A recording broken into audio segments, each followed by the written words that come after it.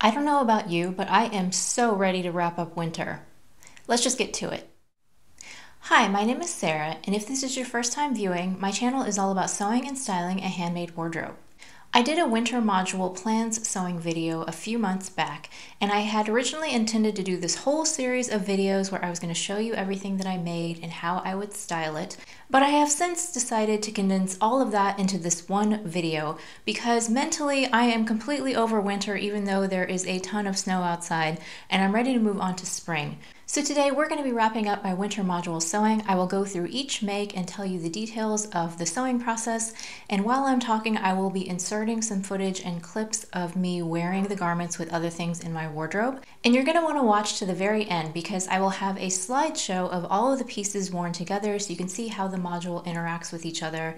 And I'm just going to set that to some music. So let's just get started. So starting with tops. The first top I want to talk about is the Sew Over It Pussy Bow Blouse. This was in my plans video and I made it out of the fabric that I intended to use, which is this Dashwood Studio Rayon. It's absolutely beautiful. I love the fabric. I made a size 6, which is my normal sew over size, and I was worried about it being too tight in the hips, and so I did add one and a half inches to the circumference at the hips. In retrospect, I didn't really need to do that. I shortened the sleeves by 2 inches and I did a half inch full bicep adjustment. I made version 1 which has the tie higher up on the neck and there's another version that the tie comes down lower on the v-neck but I wanted the high neck version. I really like this particular view because you can actually tie it up so that it's close to the neck or you can actually have a looser tie that's closer down to the V. I just feel like it's a little bit more versatile. Now I did make a slight alteration to this pattern and honestly it was due to laziness. The sleeves are supposed to have a thin narrow cuff at the end and originally I had intended to finish the sleeves with elastic but what I didn't realize is that the sleeves are actually fairly close fitting. There's not really enough fabric to do gathering at the wrist so I just ended up simply turning up the hem and stitching it. Now, since I got my body typing done and have discovered that those little extra details really help, I wish that I would have taken the time to just do the cuff like the pattern states, but I don't think that there's anything wrong with it. It's just I wish I had made that little detail instead of skipping it. Now the fit on this is reasonably good, but there are a couple of issues. First of all, the shoulder is slightly too long. It wants to hang a little bit off of my shoulder, and I think that's pretty common for me with Sew Over It. I probably need to start doing a narrow shoulder adjustment. And the top is also just slightly too tight across the shoulders and the back. I need to do a broad back adjustment, but I did not do that on this one. And the other thing that's kind of weird about this top is that the neck opening is a little bit narrow, and it's actually slightly difficult to get it on and off. Once it's on, it feels fine. It doesn't feel tight or anything, but just when you're putting it on and taking it off, off, it is a little bit difficult to like, I don't know, get my head through the opening and get my shoulders in. It's just a little bit of a squeeze to get it on. But for the most part, I am really satisfied with this top and I do like the tie neck. I would consider making this again, although I do have some other patterns in my stash for bow tie blouses that I might try just for something different. The first time that I sewed with Dashwood Studio Rayon, I had a really hard time with the fabric. It frayed on me and there were pulls and things, and I was really dissatisfied with the way that it sewed. But this time around, I used a small, sharp Microtex needle, and I didn't have any problems at all with the sewing. I think that it went really well. So I absolutely am thrilled with the way that this top turned out. I think that it's one of the showstoppers of the module. Now for my second top, I don't have a ton to say about this. The pattern is the Victory Patterns Frances top. This is a tried and true pattern for me. I have made many, many versions, and the fabric that I used is the premium merino from the fabric store in New Zealand, and I used one meter of fabric, and the colorway is called Cloud. It's a very light gray. As per usual, I cut out a size 0 at the shoulders and the chest, and then I graded up to a size 2 at the waist and carried that down to the hem. I did shorten the sleeves because I have short arms and this pattern is super super easy and simple to put together. I actually made an identical version of this in a black merino jersey that I shared in my previous makes video. And the only thing that I did that was slightly different on this one is that instead of getting out my cover stitch, I used Maraflex thread to do the hems just because I was feeling a little bit lazy and didn't want to get out my cover stitch. Just like with the previous version, I did put a tag in the back so that I could distinguish from the back and the front. I know that it's very popular right now for people to put labels in their clothing, but I actually don't like doing it because I just don't like the feeling of having something touching the back of my neck. So I usually don't put in tags. The only time that I do it is when I have a hard time figuring out what is the back and what is the front. So yeah, not a whole lot to say about this one. I do wish that this was white. When I bought the color, I actually thought I was getting a white, but it actually turned out to be this light gray. So it's not quite as versatile in my wardrobe as white would be, but I do think that it's a really useful neutral turtleneck. It's super warm because the merino jersey is just such a really nice quality, and I've been wearing it quite a bit since I finished it. So the third top that I made is a little bit different. I deviated from my plans and it was actually kind of an impulse make. So originally I had planned to make another Frances turtleneck, but I'd already made the two, this one and then the black one. And I just didn't feel like I needed another turtleneck. I was kind of craving something different. So I ended up going to Tilly and the Buttons and I purchased the Agnes top. Now this top has been around for a really long time and I've never really been tempted to buy the pattern because I have some tried and true fitted t-shirt patterns already, but I decided to get this one because it has these interesting ruching details. You can do ruching at the shoulder or you can do some ruching in the center front here. And I just thought that that was just a little bit different, a little bit extra, that it was worth going ahead and buying the pattern. So because this was my first time sewing up this pattern, I wanted to try it out of some remnants. I didn't want to cut into something really precious right away. And so I had made a dress out of this fabric. It was my January Minerva brand ambassador project. And I had just enough of this fabric left over to squeak out this t-shirt. So I was really happy that I was able to use up all of the meterage that was sent to me. And I got two beautiful garments out of it. This is a cotton spandex jersey. It's very stretchy, it's nice and hefty, and I really love the color. Now for the sizing on this, I chose to make a size 2 at the shoulders and the chest, and then I graded up to a size 3 at the waist and carried that down to the hem. However, I do think that the t-shirt at the bottom is a little bit curvier than my actual body. I probably should have graded back to the size 2 at the hip. But because this is a fairly long t-shirt and I'm always going to wear it tucked in, it doesn't really matter. But just for future reference, I think that I would actually probably cut this off a little bit shorter because I do find it to be a bit long. And I think probably if I just trimmed it from the bottom, that that would make it narrower for me and that would probably fit just fine. And that's probably what I'll do next time. I did also shorten the sleeves by three inches and I finished off the cuffs and the hem with a one inch hem. Now I do have one little nitpick with this pattern. So when I was sitting down to sew this pattern, it's a t-shirt and I'll be honest, I am not very good at following instructions, especially for things that I've made before, garment types of garments that I've made before. I know how a t-shirt goes together. The only thing that I really needed the instructions for was to figure out how to do the elastic in this sleeve. And in the actual instructions, it does not tell you how far to stretch your elastic when you're sewing it down, and I couldn't find that information anywhere, and so I had to just kind of guess where the elastic was supposed to stop. So I did mention that in my finished make pictures on Instagram, and the company Tilly and the Buttons actually left me a comment and said that those instructions were with like the fabric suggestions or something. It was on another page that I would not have thought to look at. And so, I mean, it's great that the instructions are actually in the pattern, but I just found it a little bit weird that the elastic instructions weren't with the actual sewing instructions because this pattern in particular is meant for a beginner. And I would just think it would be most useful to have the steps and all of the instructions in the order that you would actually be following them and not having to flip back and forth between pages. And for me, since I don't print out my instructions, you know, scrolling through the PDF on my computer trying to figure out where this instruction is. So I just thought that was a little bit weird but technically the instructions are complete, they are there, but you might have to go hunting for them is just a little bit of a warning there. Now I'm really happy with how this top turned out. The reason why I never tried this pattern before is because I wasn't that sure how I would feel about this ruched sleeve. I kind of worry that it would make me look a little bit like a football player, but I actually don't think that it makes me look like that at all. I really love the way that it looks. The only thing that I'm not 100% thrilled with is the neckline. So it's a little bit of a lower scoop neckline and that's just a personal preference thing. I just don't really like having large expanses of my chest on display. I prefer to be a little bit more covered. So I think that when I make this again, I'll probably mash it up with the Frances and do like the crew neck tee, just like the one that I'm wearing right now, and have that really beautiful puffy dramatic sleeve with the higher neckline. I think that I would be more comfortable that way. And I might even try other versions where maybe I do like a mock neck or something, but I do really, really love the way that this sleeve turned out.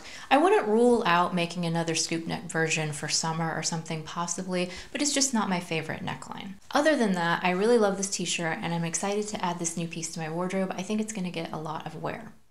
Now let's chat about the bottoms. This is where I really started to deviate from my plans and I'll tell you a little bit more in a minute why. So this pattern is the Paradise Patterns Protea pants and I made a size 4 at the waist and I graded to a size 0 at the hip. I made the flat front version. There's a pleated front or a flat front, and I chose to do the flat front. And this fabric is a 4 ounce denim that I got from Joann's a few years back.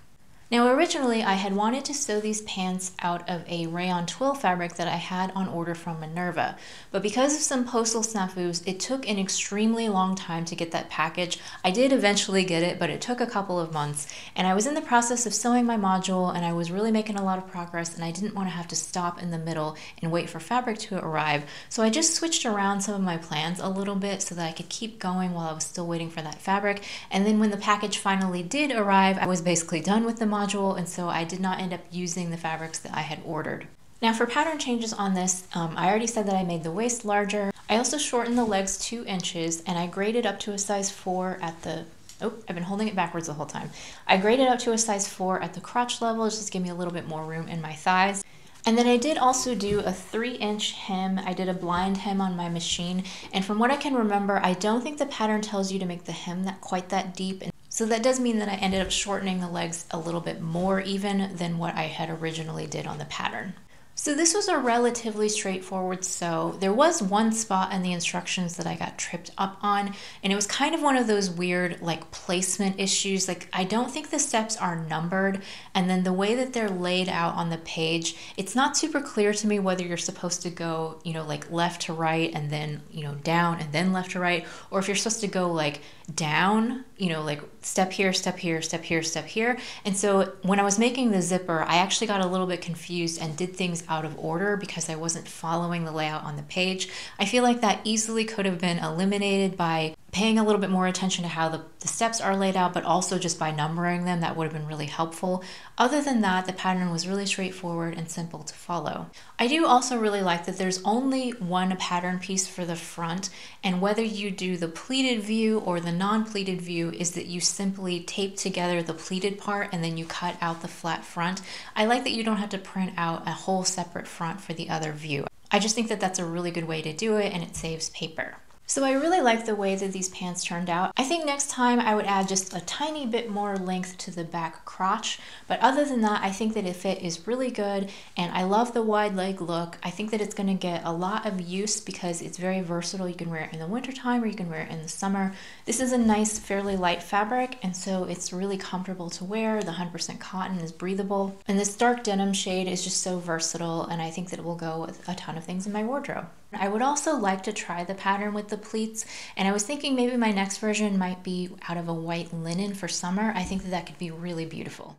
So far in this winter module, we've been zipping along and everything has been going great, but I did run into some hiccups with this. And so this is the I Am Sunshine jeans pattern. This was not on my original plans list. I think I was originally going to make a pair of jeans, but because I made those pants out of a denim fabric, I didn't want two denim pants, so I decided to switch it up and make this out of this black corduroy. I made a size 38, and I made the view that was the tapered view. There's also a baggy view, and originally I had planned to do the baggy view. I'm really glad I did the tapered view and we'll get to that in just a second. I did grade up at the crotch level to make more room for my thighs, but that turned out to be a mistake. I really didn't need to do that. I also shortened the legs, but only by one inch. So that tells me that these pants are meant to be cropped because I am four foot nine and I have extremely short legs.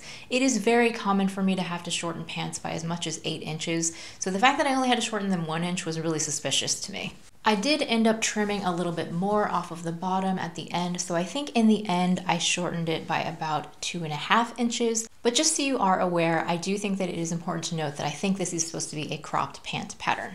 Now the fabric that I used is a slight stretch corduroy that I got from Joann Fabrics. I say slight because although it does have I think 1% spandex, it's really not very stretchy. I also used a contrasting color top stitching thread that I got from Wawak, which was also a mistake that I will talk about in just a second. Now the instructions for this I thought were really good. I did not have any issues with it. The problems that I had were kind of all of my own making. So from what I can remember, I think I was in between sizes on this pattern and I ended up sizing up. And so I made the size 38 instead of the size 36, and as a result, the pants are too big for me. They're especially too big in the waist, like there's a lot of gapping, and if I don't wear a belt, the pants just want to slide right down my body. Now, I have fixed this exact problem in the past by opening up the back waistband and putting in some elastic, but I'm not actually going to do that on this pair because I don't like them enough to want to fix them.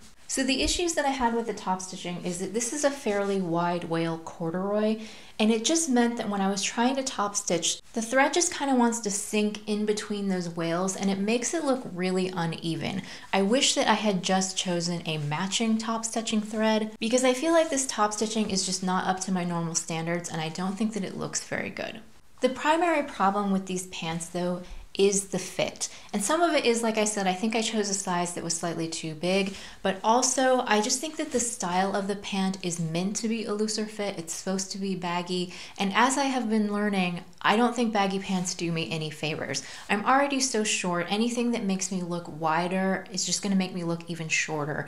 So I'm really just not that crazy about the fit of these and also the style. I don't think that it really suits me. And so I'm not gonna get rid of these right away because they are comfortable. If we're talking about just kind of lounging around the house on the weekends, I could wear them, but they're not a pant that I feel like I want to wear to work or I want to wear out. It's just not the most successful make that I've ever done. So I definitely will not be revisiting this pattern. This was on my original Make 9, and it's actually what prompted me to do a Make 9 redo because I realized that a lot of those projects that were on my first Make 9, I just wasn't really that interested in making anymore, and I didn't want to force myself to make things that I would then end up with something like this where I'm like, you know what, I really don't like this. So it was a good learning experience, and like I said, I do think that I'll get somewhere out of it on the weekends and such, but it's not my favorite. Now let's chat about my layering piece. So this was another one that I did what I said I was going to do in my plans and I made the Pattern Emporium Grab a Cuppa Cardi in this Moraine double cashmere that I got from Surge Fabrics. Now this is my second version of this cardigan. The first one was made out of a sweatshirting fabric and I talked about that in my previous makes video. So because this one was the second one, it went together nice and easy. I made the size 6 in the cropped version, and you have an option to do a tapered hem or a regular hem. And in my first version, I did the tapered hem, which just means it's a little bit more cinched at the waist. And this version, which is the regular one, is not quite as short, so it's a little bit looser fitting at the bottom. I do really like the way that this fits. I feel like it's very comfortable. I did size down one size from my measurements. And then I don't know if you'll be able to see them, but I splurged on some glitter buttons from Stylemaker Fabrics. I wanted some really fun, beautiful buttons to add to this. And it did end up being very subtle, but I can see the glitter and I just think that it's really pretty.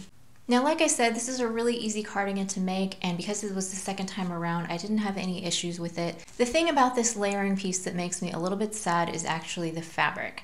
So I kind of knew this going in just by feeling it and knowing the fabric content. I think it's like a, a rayon based sweater knit.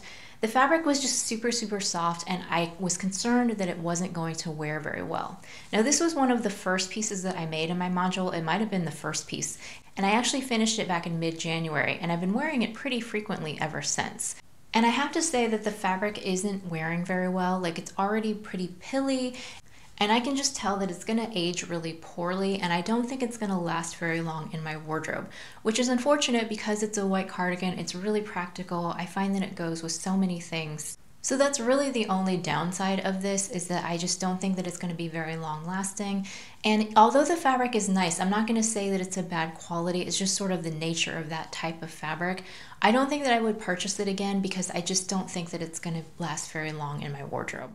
So in my original plans, I was going to make a dress, but because of the Minerva snafu and my fabric didn't get here on time, I scrapped those plans and I used the fabric to make the jeans. And so I wasn't gonna do a one piece to this module at all. But at the very last minute, I decided, you know what, I do wanna make one more piece. I'm gonna make a pair of overalls. So the pattern that I chose is the True Bias Riley. I purchased it in her Black Friday sale last year. And the fabric that I used is this Mind the Maker denim. It's a black denim non-stretch, and it's been in my stash for quite a while. I got it from D&H Fabrics, but it is also currently available from Minerva. Also, because I thought it would be really fun, I have quite a large quilting cotton stash, and so for the pocketing, I just used this really fun um, Pac-Man fabric for the pockets. Now, spoiler alert, I really love how this turned out, and it was actually fairly fun to sew, but oh my goodness, it was a lot of work and it took me quite a few days to finish it. Now for sizing, I chose the size zero.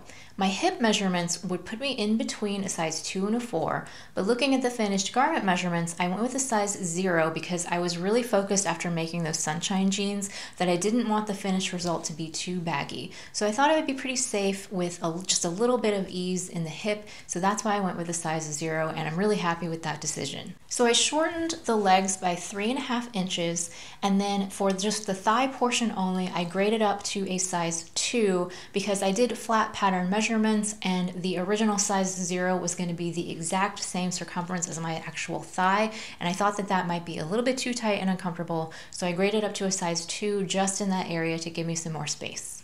Now, like I said, I really did enjoy the sewing of this, but it was a lot of switching back and forth between top stitching thread and normal thread. I only have one machine that I use on a regular basis. I mean, I have a serger, but I only have one sewing machine. So I can't do the thing where you switch back and forth between different machines. I had to keep constantly switching out my thread and also my needles because I used a size 90 needle for the construction and then I used a size 100 top stitching needle for all of the top stitching. This top stitching thread is from Wawak. Several years back, I bought cones in a variety of different colors and I've just been using them ever since. If you guys have been here before, then you will know that red is my favorite color and so I just really wanted to use red top stitching on this particular garment. And this time around, I do feel like my top stitching was pretty darn good and I really like the way that the red looks popping against the black. Now I did not make a muslin for these because the pattern is just so involved that I didn't think I would have the energy to make a muslin first and then still want to make the actual garment, so I just went for it. And so because of that, I do have a couple of fit issues that I would like to fix next time. I think overall the fit is pretty good and I'm really quite happy with it, but there are a few things that aren't quite right. And so I think I'm pretty sure that the front crotch is a little bit too long, and I think that I might also need to scoop it a little bit because I do get this kind of poochy bubble in the front. And it's not bad, it's not gonna prevent me from wearing them, but I think next time around I would really like to just fix that. So I think maybe if I just shortened the front crotch just a little bit and also scooped it, that that would take care of that issue. I also have a little bit of wrinkling on the back legs, which is something that happens to me quite a lot. However, when I have tried to fix that issue in the past, I often have ended up causing other problems I usually try to like just pinch a little bit out of the back leg length to make it a little bit shorter, but that solution has often not worked out that well for me. So I don't know if I would bother next time worrying about the back of the legs. I think that they're perfectly reasonably fine and you need to be able to sit and move around and stuff in your overalls. So I don't think that I would worry so much about the back legs, but I do think I would try to fix that front crotch. So I do really like how the length came out on this particular pair of overalls. I think that it's really versatile, so I can leave them unrolled and they're perfect for the winter time.